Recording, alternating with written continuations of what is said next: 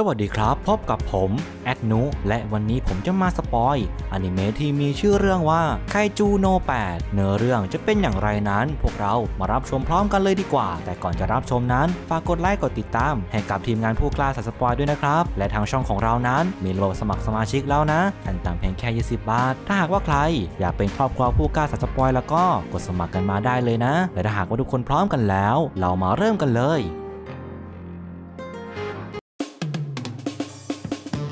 เบื่อไหมเวลาฟังเพลงกำลังเพลินๆ แต่โฆษณามาขัดจังหวะ แอดขอแนะนำ YouTube Premium ราคา 19 บาท จากปกติ 209 บาท แถม YouTube Music ตลอดการใช้งาน ยังไม่พอ เราแถม VIU Premium อีก 1 เดือนไปเลย ล็อกอินได้ทุกอุปกรณ์ เปิดใช้งานพร้อมกันได้อีกด้วย ปิดหน้าจอก็ยังฟังสปอยได้ สำหรับใครที่ใช้ YouTube Premium อยู่แล้ว สามารถย้ายมาใช้กับเราได้เลย มีแอดมินดูแลตลอด 24 ชั่วโมง ทีนี้จะฟังสปอยหนังหรือฟังเพลง ก็ไม่มีโฆษณามากวนใจอีกต่อไป ท่านไหนที่สนใจ แอดจะทิ้ง ID ไลน์ไว้ที่ใต้คอมเมนต์ หรือสแกน QR Code ที่อยู่บนหน้าจอได้เลยอย่าลืมมาเป็นส่วนหนึ่งกับพวกเรา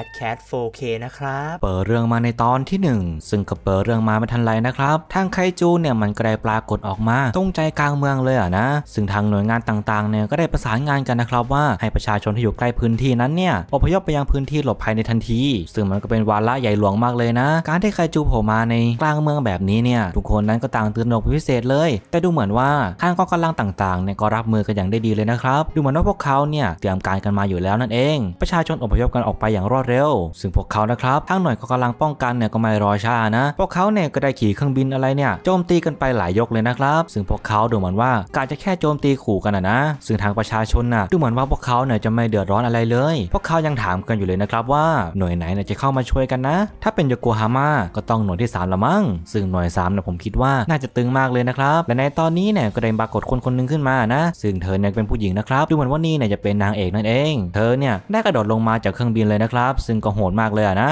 ซึ่งดูเหมือนว่าทางหน่วย3นะทุกคนเนี่ยต่างจะทำหน้าที่การประสานงานได้ดีมากเลยนะครับพวกเขาเนี่ยต่างยิงขู่ต่างๆ นานาเลย แต่เจ้าไคจูเนี่ยมันก็ไม่ยอมอะนะ จนทางนางเอกของเรานะครับต้องเป็นฝ่ายลงมือ โดยเธอเนี่ยได้ยิงปืนนัดเดียวนะ ซึ่งก็ยิงเข้ากลางอกมันเลย จนตัวของทางไคจูเนี่ยระเบิดเต็มเมืองเลยนะครับ ซึ่งแน่นอนนะครับว่า พวกเขาเนี่ยจัดการได้อย่างง่ายได้เลย และภาพตามมาทางฝั่งของทางพระเอกอะนะดูเหมือนว่าในตอนนี้ในตัวของเขาเนี่ยก็ได้กำลังจ้องมองทางไคจูนะครับที่เป็นซากอยู่เลยดูเหมือนว่าเขานั้นจะเป็นคนเนี่ยเก็บซากนั่นเอง ซึ่งตัวเนี่ยมันใหญ่เกินนะครับทางพระเอกเนี่ยถึงกระบ่นเลยว่าแบบนี้นะฉันต้องทำโอทีไปถึงสักพักเลยสินะ และพวกเขาเนี่ยก็ได้ออกไปทำงานเก็บกวาดกัน ซึ่งในตอนนี้ทางชาวเมืองเนี่ยก็ได้ต่างชื่นชมนะครับทางสมาชิกหน่วยที่ 3 ผู้ปราบไคจูได้สำเร็จ ซึ่งก็ปราบโดยที่ไม่มีใครได้รับบาดเจ็บเลยนะครับทางหน่วยที่3เนี่ยทางพระเอกของเราเนี่ยก็ได้เดินตามมานะครับซึ่งตัวของเขาเนี่ยก็ได้จ้องมองไปที่ทางหน่วยที่3นั่นเองอะนะซึ่งคนที่เขาจ้องมองไปเนี่ยก็คือทางนางเอกของเรานั่นเองนะครับแต่ดูเหมือนพวกเขาเนี่ยจะไม่ได้สนใจใยดีกันแล้วนะ ตัดไมาอีกทีนะครับทางพระเอกของเราเนี่ยก็ได้ทำการลงมือทำการเก็บกวาดซากนะ ซึ่งตัวของเขายังได้พูดขึ้นมาว่าการต่อสู้ของพวกเราน่ะจะเริ่มก็ต่อเมื่อตอนทุกๆอย่างคลี่คลายแล้ว งานที่ไม่มีใครให้ความสนใจ แถมไม่ได้รับคำขอบคุณเลยได้ซ้ำแต่ว่านั่นก็คือการต่อสู้กับไคจูในเงามืดของพวกเรานั่นเอง ซึ่งทางเพลงของเรานะครับตัวของเขามีชื่อว่าคาฟกานั่นเอง ซึ่งทางเพลงของเราเนี่ยตัวของเขาเนี่ยก็ได้ทำงานแบบขยันขันแข็งมากเลยนะแถมประสบการณ์การทำงานของเขาเนี่ยก็เยอะมากด้วยนะครับซึ่งมันก็ได้มีรุ่นน้องของเขาคนนึงเนี่ยอยู่ดีๆเนี่ยก็ทำการยกไอ้ก้อนอะไรบางอย่างขึ้นมานะแล้วมันก็ได้ระเบิดออกนะครับทางทางๆที่พระเอกของเราเนี่ยก็ได้บอกว่าอย่ายกไอ้ก้อนนั้นขึ้นมา ซึ่งมันเนี่ยก็ได้ระเบิดออกมาเป็นกรดเลยนะครับซึ่งทางรุ่นน้องเนี่ยก็ได้รับบาดเจ็บทันทีทางพระเอกในตัวของเขาเนี่ยก็ไม่รอช้านะ ได้ทำการประสานงานฝ่ายต่างๆนะครับให้เข้ามาช่วยเหลือโดยเร็ว ซึ่งทางพระเอกของเราเนี่ยตัวของเขาได้ลงมือรักษาทางเพื่อนร่วมงานของเขานะครับหรือว่าทางรุ่นน้องนั้นได้อย่างรวดเร็วเลย เพราะว่าเขาเนี่ยเคยโดนแบบนี้ไปแล้วนะครับทางพระเอกของเราเนี่ยถึงกับบ่นเลยอะนะงานของหน่วยที่สามเนี่ยมันเลยตุ้มเป๊ะมากเลย พวกเราเนี่ยก็เลยทำงานหนักกันเยอะมากขึ้นนะสิ แต่ว่าเจ้านี่นะจะเก็บเสร็จภายในอาทิตย์นี้ไหมเนี่ย เลยตอนนี้นะครับดูเหมือนว่าทางหัวหน้าของพวกเขาเนี่ยจะมาสั่งการทางพระเอกของเราอะนะว่าให้ย้ายหน่วยไปหน่อย ซึ่งตัวของเขานะครับต้องย้ายหน่วยไปช่วยที่ฝ่ายลำไส้นั่นเอง ซึ่งฝ่ายลำไส้นะคนขานะครับดูเหมือนว่าทุกคนในนี้เนี่ยจะกลัวฝ่ายลำไส้กันหมดเลย เพราะว่าลำไส้นั้นมันก็มันก็มีแต่สิ่งอะไรไม่ดีอะนะ ทางพระเอกในตัวของเขาเนี่ยก็เลยโดนลากคอไปโดยปรียายเลยนะครับซึ่งเพื่อนๆของเขาเนี่ยก็ต่างพูดกันอะนะ ว่าเคยได้ยินข่าวลือมาบ้าง แต่งานลำไส้นี่โหดหินมากเลยเหรอ ซึ่งพวกเขาเนี่ยก็ยกตัวอย่างมานะครับลองคิดคิดดูว่าในลำไส้มีอะไรบ้าง ก็น่าจินตนาการออกใช่ไหมล่ะ ถ้าวันไหนได้ไปทำงานที่นั่นแล้วก็ น่าจะกินข้าวไม่ลงไปสักพักแน่นอน ซึ่งทางเพจของเราเนี่ยตัวของเขาเนี่ยก็ได้เริ่มงานแล้วนะครับแต่ดูสีหน้าของเขาสิครับทรมานมากเลยนะ ตัดภาพมาอีกทีในตอนนี้ทางเพจของเราเนี่ยก็ได้ทำงานเสร็จเรียบร้อย ร่างกายของเขาเนี่ยแทบแหลกเลยนะครับในวันนี้ ซึ่งตัวของเขาเนี่ยก็ได้ดูข่าวในทีวีด้วยนะเพราะเขาเนี่ยก็ได้รายงานข่าวนะครับถึงเดือนที่สามเนี่ยปราบไคจูได้นั่นเอง ซึ่งทางพระเอกเนี่ยตัวของเขาเนี่ยก็ได้มองเพื่อนของเขานะ หรือก็คือทางนางเอกของเรานะครับที่มีชื่อว่ามีนานั่นเอง เธอเนี่ยอายุ27 ปีแล้วนะ แถมเธอเป็นหัวหน้าหน่วยอีกด้วย และประวัติของเธอเนี่ยเคยฆ่าไคจูมานับร้อยแล้วนะครับภาพเดือนไปในอดีตนะนในตอนที่พระเอกของเราเนี่ยกับทางมีนาพูดคุยด้วยกันว่าเราสองคนมากำจัดไคจูให้สิ้นซากด้วยกันเถอะซึ่งทางพระเอกของเราเนี่ยเมื่อจ้องมองทางมีนานะครับตัวของเขาเนี่ยก็ได้นึกถึงอดีตนะนแล้วก็รับไม่ได้ตัวของเขาก็เลยปิดทีวีไปเลยนะครับแล้วก็ได้บ่นกับตัวเองไปว่า แล้วทำไมฉันถึงมาอยู่ฝั่งนี้ล่ะเนี่ยซึ่งทางเพลงในตัวของเขาเนี่ยก็ได้ปลอบใจตัวเองอะนะว่าอย่าไปคิดแบบนั้นสิว่าการทำความสะอาดก็เป็นงานที่สำคัญ ช่วยเหลือผู้คนเหมือนกันนะ ได้อาศัยอยู่ในห้องดีๆ ได้กินอาหารที่ชอบ แค่นั้นก็พอแล้วไม่ใช่หรอ ซึ่งดูเหมือนว่าพระเอกของเรานั้นจะชอบทางมาม่ามั้ง ในห้องเนี่ยมีแต่มาม่าเต็มหมดเลยนะครับ ตัดมาในอีกวันในตอนนี้นะทางเพจของเราเนี่ยก็ได้โดนเรียกไปทำงานอีกแล้วนะครับ ซึ่งเขาเนี่ยก็ปวดหัวมากเลยนะ กับจ็อบพิเศษอันนี้ ซึ่งพอเขาไปถึงเนี่ย ก็ได้โดนเรียกมาเลยนะครับ แล้วก็ได้มีน้องใหม่คนนึงเนี่ยที่จะมาทำงานพิเศษกับพวกเขาในวันนี้นะ ชื่อของเขาคือทางอิจิคาวะนั่นเอง แถมน้องเขาเนี่ยยังมีแผนการเข้าร่วมกองกำลังป้องกันด้วยนะครับซึ่งทางเพื่อนร่วมงานของทางพระเอกเนี่ยก็ได้ต่างโมเมนต์ให้กับทางพระเอกไปว่า เมื่อก่อนหมอนี่นะก็เคยมุ่งมั่นทจะเข้ากองกำลังเหมือนกัน แต่ดันยอมแพ้แล้วมาเป็นผู้ใหญ่ของที่นี่ซะงั้น ซึ่งทางพระเอกเนี่ยตรงเขาก็ได้ต่อว่าเพื่อนของเขาไปเลยนะครับว่าคุณโทคุพูดแบบนั้นน่ะเดี๋ยวเด็กก็ลำบากใจเอานะ ซึ่งทางน้องอิจิคาวะเนี่ยก็ได้ถามกับทางเพระเอกของเราไปเลย ว่าทำไมล่ะทำไมคุณถึงยอมแพ้ล่ะครับทางพระเอกในตัวของเขาเนี่ยก็เลยพูดกันไปว่าฉันลองพยายามแบบของตัวเองเต็มที่แล้วนะ แต่ก็มีคนที่เทพกว่าฉันเนี่ยสิแบบว่าฉันน่ะรู้ความสามารถของตัวเองและขีดจำกัดของตัวเองอะไรเงี้ยไว้นายโตขึ้นเมื่อไรนายก็จะเข้าใจเองซึ่งทางน้องอิจิคาวะเนี่ยก็เลยบอกว่าไม่เข้าใจครับ ผมน่ะไม่มีวันยอมแพ้เพราะงั้นคงไม่เข้าใจไปจนวันตายแหละครับ และน้องเนี่ยก็ได้เดินออกไปเลยเพื่อไปเปลี่ยนชุดอะนะซึ่งทางเพจของเราเนี่ยก็ได้แค้นกับน้องมันจัดเลยนะครับขี้โกงนี่ว่าแบบนั้นไม่ว่าฉันจะตอบอะไรไปก็ดูน่าสมเพชหมดเลย การยอมแพ้เนี่ยมันแย่ขนาดนั้นเลยเหรอ และในตอนนี้พวกเขาเนี่ยก็ได้มาทำงานกันต่อนะครับดูเหมือนว่าทางเพจของเราเนี่ยจะได้ไปอยู่ฝ่ายลำไส้อีกแล้วอะนะ ซึ่งเขาน่ะโดน 2 วันติดเลยนะครับแล้วก็ทางน้องอิจิคาวะเนี่ยก็ต้องไปกับเขาด้วย ซึ่งทั้งสองคนเนี่ยก็ได้ทำงานกันอย่างขยันแข่งขันเลยอะนะตัดมาในพักกลางวันนะครับทางน้องอิจิคาวะเนี่ยน้องเนี่ยก็แทบอ้วกเลยนะไม่มีอารมณ์กินข้าวเลยซึ่งทางพระเอกของเราเนี่ยก็ได้แอบขำอยู่ด้านหลังด้วย แต่ตัวของเขาเนี่ยก็ได้ขำไปสักพักนะครับตัวของเขาเนี่ยก็จะได้แอบอ้วกเหมือนกัน แต่ว่าเขาเนี่ยกืนอ้วกลงไปนั่นเอง นี่แหละที่เขาเรียกว่าผู้มีประสบการณ์ ซึ่งทางเพลเนี่ยก็ได้แบ่งปันอาหารต่างๆนานานะให้กับน้องมันด้วยแล้วทั้งสองคนเนี่ยก็ได้กลับไปทำงานกันต่อนะครับจนตกเย็นเลยอะนะ ซึ่งในตอนนี้ทุกคนเนี่ยก็ต่างกลับบ้านกันหมดแล้ว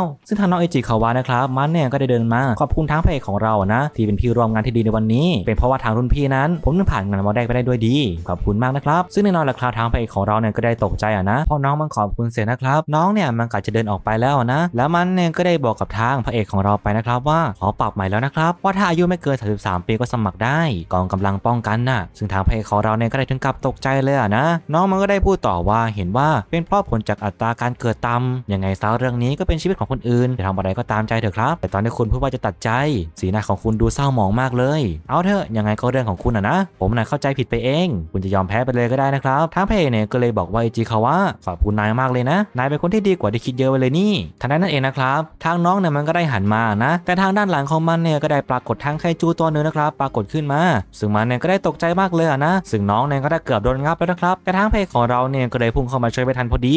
ซึ่งก็เฉียดฉิวมากเลยนะครับ ดูเหมือนว่ามันจะเป็นไคจูร้องนั่นเอง ซึ่งน้องนั้นมันก็ได้เมือลอยแล้วนะ ทางเพจของเราเนี่ยก็เลยตีนถีบเลยนะครับ ซึ่งน้องเนี่ยก็เกือบโดนทางไคจูจับได้แล้วในตอนนี้ทางเพจของเราเนี่ยก็เลยบอกไปว่าอิจิคาวะวิ่งไปซะ รีบใส่เกียร์หมานี่ออกไปเลย ถ้าถึงที่ปลอดภัยแล้วก็ฝากแจ้งกองกำลังด้วยล่ะซึ่งทางน้องนั้นมันก็ได้บอกว่าแต่รุ่นพี่คนเดียวน่าจะไหวงั้นเหรอทางเพจเนี่ยก็เลยบอกว่าต่อให้มีสองคนก็มีค่าเท่ากันนั่นแหละนายอยากเป็นสมาชิกของกองกำลังไม่ใช่เหรอขืนมาตายตรงนี้น่ะจะทำยังไงเล่า ซึ่งน้องเนี่ยมันก็ไม่รอช้านะครับมันเนี่ยก็ได้วิ่งไปเลยอะนะทางเพจในตัวของเขาเนี่ยก็ได้หนึ่งหนึ่งกับทางไคจูเป็นที่เรียบร้อยแล้วนะครับตัวของเขาเนี่ยก็เลยบอกว่าเข้ามาสิอยู่ทางนี้เว้ยซึ่งตัวของเขาเนี่ยก็ได้ต่างวิ่งหนีทางไคจูนะยังบ้าระห่ำเลยนะครับซึ่งเขาเนี่ยก็ได้โชคดีนะตัวของเขาเดินหนีเข้าไปในตอกซอกซอยพอดี ซึ่งคาดว่ามันจะมาไม่ถึงแล้วนั่นเองนะครับตัวของเขาเนี่ยคิดว่าจะรอดแล้วนะพอตัวของเขาพุ่งกระโดดออกไปจากหน้าต่างเนี่ยดูเหมือนว่าทางไคจูเนี่ยมันจะตามมาพอดีเลยนะครับตัวของเขาเนี่ยก็ได้นึกถึงอดีตขึ้นมาเลยอะนะ ซึ่งในอดีตในทางบ้านเมืองก็ได้ถูกพังทลายยับเลยทางเพจของเราเนี่ยก็เลยบอกกับทางมีนาไปว่าถูกทำลายยับเลยนะเนี่ยทางบ้านมีนาบ้านฉันแล้วก็โรงเรียนด้วย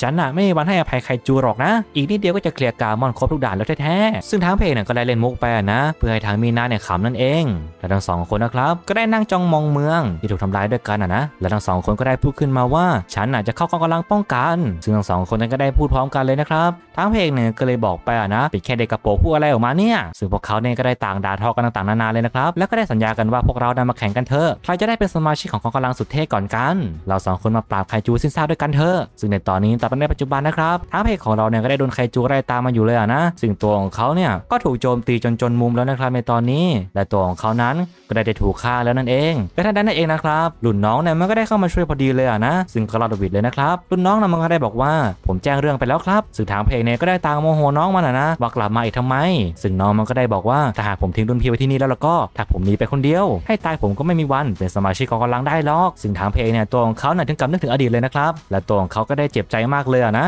บ้าเอ้ยทำไมใช่ถึงได้อ่อนแอแบบนี้มันมีอะไรเปลี่ยนแปลงไปเลยขนาดเครื่องเกมของตัวเองรวมถึงแมวของเพื่อนแม้แต่รุ่นน้องคนเดียวยังปกป้องไม่ได้ ซึ่งทางเพลงในตอนนี้นะครับตัวของเขาเนี่ยก็ได้มอบแล้วอะนะแต่ทางนั้นเองนั้นก็ได้มีเสือสมิงเนี่ยเหมือนก็ได้พุ่งเข้ามานะครับแล้วก็ทางไคจูตัวนั้นเนี่ยก็ได้หายวับไปกับตาเลยอะนะซึ่งมันเนี่ยดูเหมือนว่าได้ถูกกองกำลังนะครับจัดการนั่นเอง ซึ่งนั่นก็คือหน่วยสามนั่นเองนะครับทางมีนาเนี่ยก็ได้ปรากฏตัวออกมาด้วยอะนะซึ่งน้องเนี่ยก็มาแย่แสทำให้ของเราเลยนะครับและน้องเนี่ยก็ได้บอกว่าพวกเราน่ะไปดูที่อื่นกันเถอะว่ายังมีใครจูเหลือรอดอยู่หรือเปล่า ซึ่งน้องเนี่ยก็ได้เมินเฉยทางพระเอกไปเลยนะครับตัดภาพไปที่โรงพยาบาลนะนะซึ่งในตอนนี้ในยทางพระเอกของเรานั้น ก็ได้กำลังนอนคิดอยู่ต่างๆนานาเลยนะครับมีนาเนี่ยสุดยอดไปเลยแฮะซัดไอตัวน่ากลัวนั่นพริบตาเดียวจอดเลย เธอกล้าไปอยู่ในจุดที่ฉันเอื้อมไม่ถึงแล้วสินะ แล้วทางไอรุ่นน้องอิจิคาวะเนี่ยมันก็ได้พูดขึ้นมาว่ารุ่นพี่ ตอนใครจูปรากฏตัวออกมาน่ะแล้วรุ่นพี่บอกให้ผมหนีไป ถ้าตอนนั้นไม่ได้คุณช่วยไว้แล้วก็ ผมคงตายไปแล้วแหละครับโคเทสุดๆไปเลยครับซึ่งทางพระเอกของเราเนี่ยถึงกับเขินเลยอะนะน้องมันก็ได้บอกกับทางพระเอกของเราไปว่าคุณควรไปเข้ากองกำลังป้องกันจริง ๆ ด้วย ช่างเถอะจะยังไงมันก็เรื่องของรุ่นพี่